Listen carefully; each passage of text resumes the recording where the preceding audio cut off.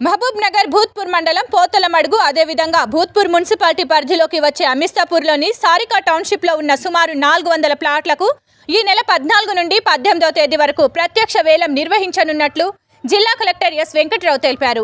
ఈ రెండు టౌన్షిప్లలోని ఓపెన్ ప్లాట్ల ప్రత్యక్ష వేలం విషయంపై గురువారం ఎక్స్పో ప్లాజాలో నిర్వహించిన ఫ్రీ బీట్ సమావేశంలో ఆయన మాట్లాడుతూ మధ్యతరగతి ఉద్యోగులు ప్రజలకు ఇది ఎంతగానో ఉపయోగకరంగా ఉంటుందని అన్నారు. ముఖ్యంగా ఉద్యోగులు చాలా మంది రిటైర్ అయ్యే వరకు కూడా సొంత ఇల్లు లేని వారు ఉన్నారని అలాంటి వారికి ఇది ఒక మంచి అవకాశమని సారిక టౌన్షిప్లో అరవై గజాలు మొదలుకొని రెండు వందల అరవై ఆరు గజాల వరకు ప్లాట్లు ఉన్నాయని పోతలమడుగు టౌన్షిప్లో సుమారు రెండు వందల పద్నాలుగు ప్లాట్లు ఉండగా ఇది నలభై నాలుగవ జాతీయ రహదారికి దగ్గరలో ఉందని ఇక్కడే స్టేడియం నిర్మాణం కూడా జరగబోతుందని అంతేకాక ఆహ్లాదకరమైన వాతావరణంలో ఈ టౌన్షిప్ ఉందని అందువల్ల పెద్ద ఎత్తున వేలందారులు ప్రత్యక్ష వేలంలో పాల్గొని ఎలాంటి ఇబ్బందులు లేని ప్లాట్లను సొంతం చేసుకోవాలని కలెక్టర్ కోరారు.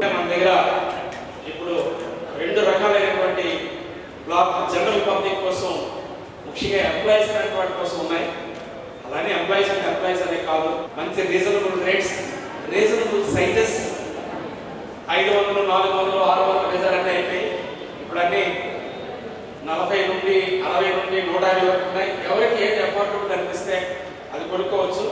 నేను ప్రత్యేకంగా మీకు చెప్పేది ఏంటంటే మనకి మంచి ఎన్డీఎం గారు చాలా యాక్టివ్ ఎన్డీఎం గారు వచ్చారు మన జిల్లాకి చాలా కాలం తర్వాత. బ్యాంక్స్తో ఏ ఇష్యూ చెప్పినా వెంటనే టైఅప్ చేసి వెంటనే టైఅప్ చేసి లోన్స్ విషయంలో డిస్ట్రిక్ట్ అడ్మినిస్ట్రేషన్కి బ్యాంకర్స్ చాలా అనుసంధానం చేస్తారు ఈ మధ్యన ఎంఎస్ఎంఈకి సంబంధించి కూడా ఒక